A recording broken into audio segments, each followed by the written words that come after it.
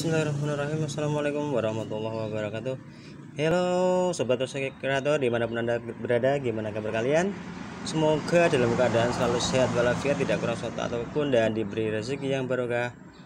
Jangan lupa sob ya Saling berbagi. Ya oke okay? Saling berbagi Bagi uh, Seluruh Sesama kita yang membutuhkan sob.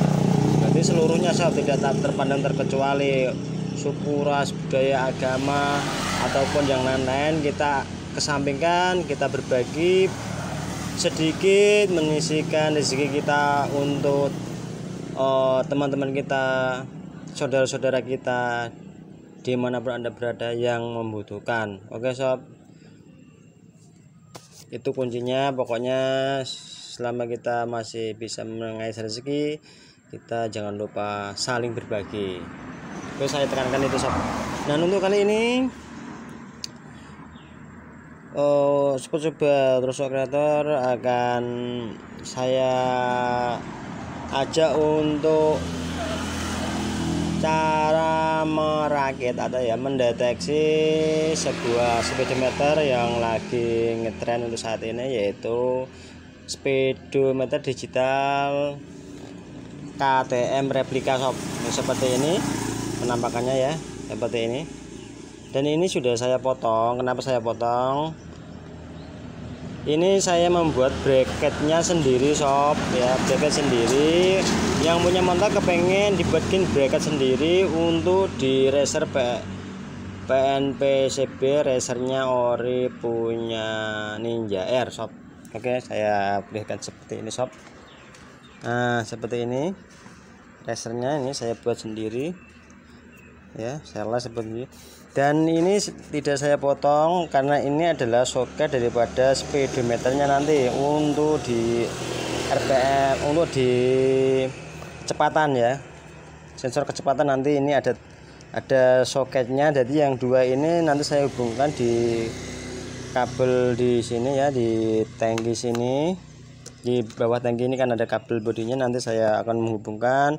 Kita akan merakitnya jadi ini saya buat simple untuk lubangnya untuk masuknya biar enak.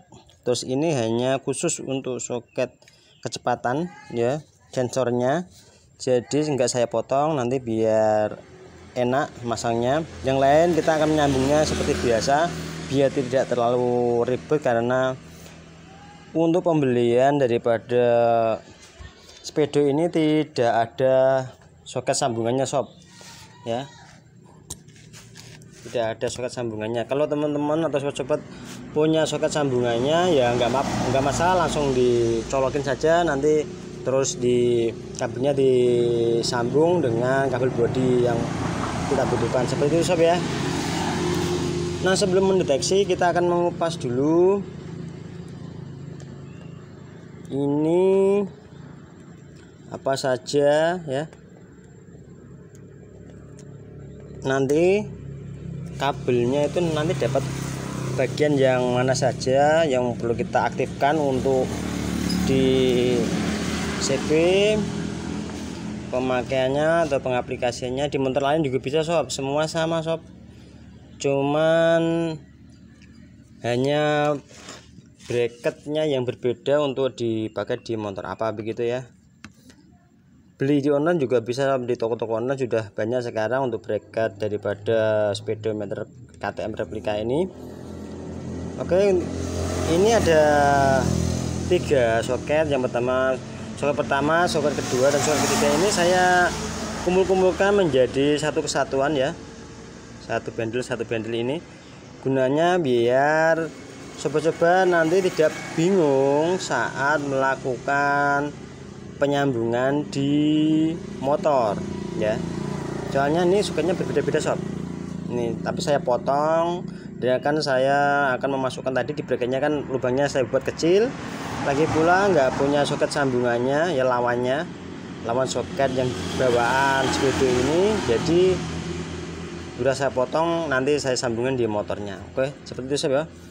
Langsung kita rakit ini kita kupas dulu ya sob ini kabelnya ujung-ujungnya kita kupas nanti kita akan menyambungkan dengan nih akinya terus untuk satu box ini ya saya paket ini mendapatkan satu buah speedo dan uh, satu buah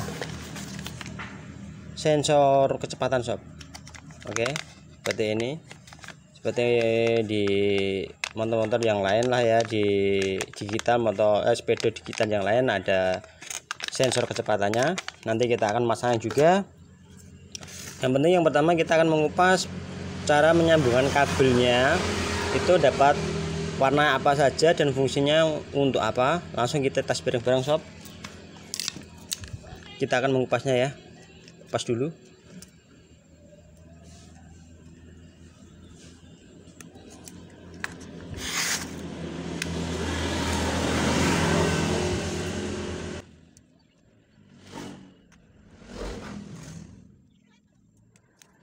Oke sob ini nggak usah kita kupas ya. Ini ya jalur daripada sensor kecepatan. Nanti dapatnya soket ini sob.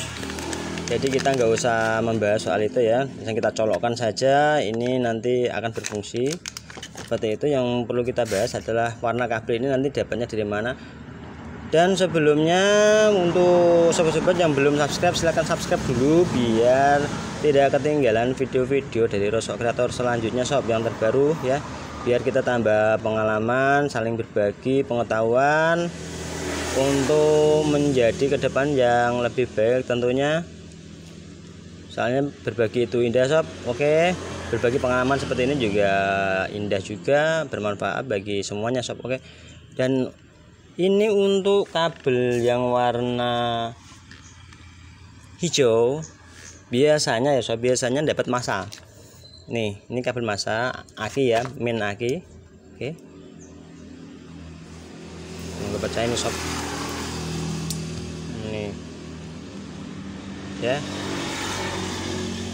Yang kiri ini.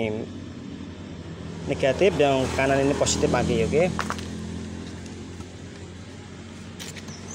Kita hubungkan dengan kabel yang hijau dapat masa Oke sedangkan untuk kabel yang hitam biasanya itu dapat oh,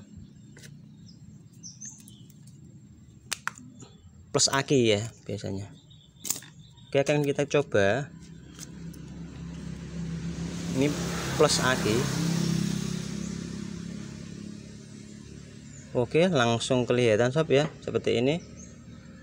Nah, langsung seperti ini berarti nanti kabel yang warna hitam ini nanti akan mendapatkan sambungan di kontak posisi keluar sob ya. Output kontak. Seperti itu. Hanya bagaimana sih ya. Biar lebih enak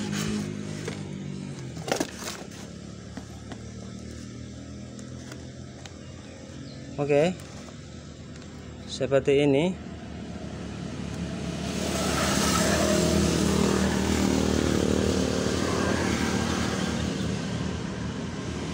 Langkah selanjutnya kita akan mengecek warna daripada yang uh, biru biru muda kita akan menempelkan di positif aki nanti apa yang keluar di indikator ini. Nah ini adalah sign ya sob. Ini hidup. Ini adalah sign. Oke. Warna biru muda sign. Terus kita coba yang kabel oranye. Sign juga ya. Hidup ya. Ini untuk biru polos nah ini adalah lampu dim atau lampu jarak jauh. Ini untuk biru polos ya. Oke biru polos sudah. Terus untuk biru liris putih. Ini ya ini biru liris putih sob. Dari pulsar ini. Nanti untuk di RPM nya untuk di video memang oh, panel ini seperti gerak-gerak ya sob. Tapi untuk di faktanya itu enggak. Dia tenang saja. Ya berbeda ya dengan sistem video dengan kenyataannya fakta yang ada oke? Seperti ini memang uh, seperti apa ya digitalnya seperti gerak-gerak gitu angka-angkanya. Cum tapi cuman nanti yang asli tidak dia tenang oke jadi jangan khawatir untuk soal ini kita tidak perlu memasalahkan terus ini untuk yang kuning ya kita coba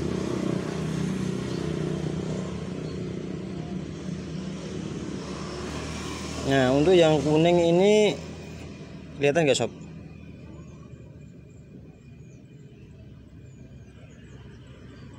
Ya agak terang ya.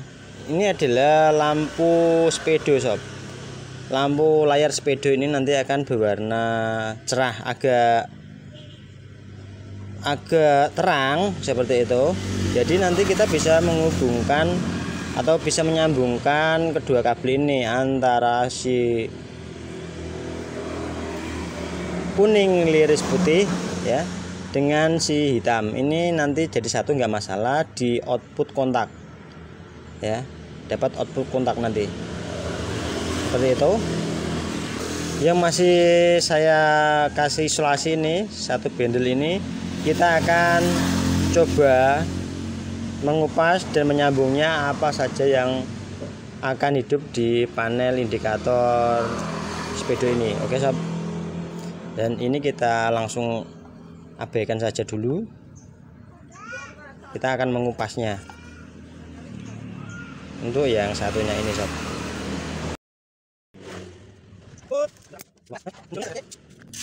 kita akan mencobanya di satu soketnya lagi satu bendel tadi ada satu soket dapat minus aki oke kita akan coba untuk yang ungu Oke. Dilihat indikator ini adalah 6. Berarti ini adalah untuk gigi percepatan 6 speed. Ini yang 6. Oke, terus kita cek satu persatu untuk kuning liris merah. 4 terus coklat liris putih. 5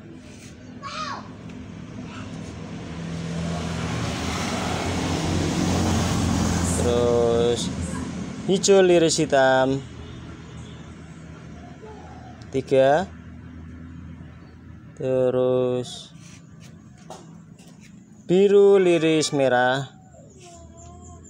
2 terus warna pink. Okay satu. Berarti berarti satu ini ya satu kesatuan ini ya dari satu soket ini adalah untuk sensor kecepatan ya kecepatan. Untuk gigi perpindahan gigi perseneleng ya 1 sampai dengan 6 dan untuk soket-soket bisa diaplikasikan di semua motor yang punya panel sepedonya yang lama itu untuk percepatan 1 sampai dengan 6 bisa dipakai di Supra 125 atau punya FU ya Satria Batak terus Fiction dan lain lain pokoknya yang ada gigi percepatan di sepedonya 1 2 3 4 dan seterusnya. Jika 4 percepatan persenelengnya itu nanti bisa disambungkan dengan memakai yang untuk soket yang satu ini sob. Jadi untuk di CB itu sendiri tidak memakai oh, sensor percepatan 1 2 3 4 ya. Jadinya nggak usah kita fungsikan ini kita apa ya kita solasi kita rapikan dan ini enggak terpakai sob. Ya. hijau liris kuning emas. Ini ini nanti dapat injeksi kalau dipakai untuk motor injeksi ya. Terus untuk hijau liris merah. Nah ini nanti untuk switch netral. Jadi kita akan memfungsikan dapatnya switch netral yang ada di mesin ya.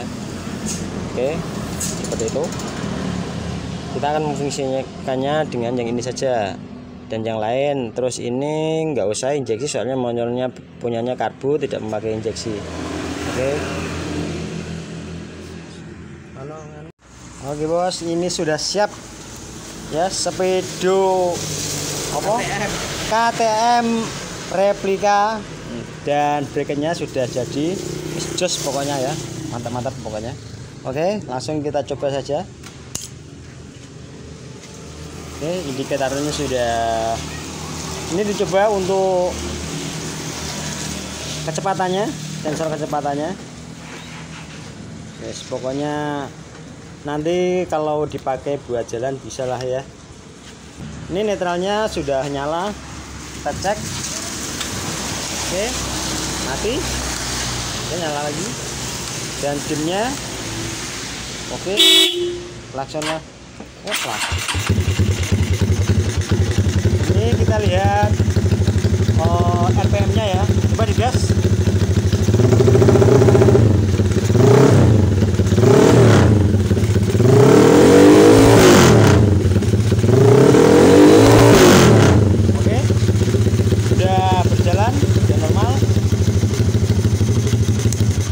kita matikan saja biar tidak gembrebek ya gembrebek.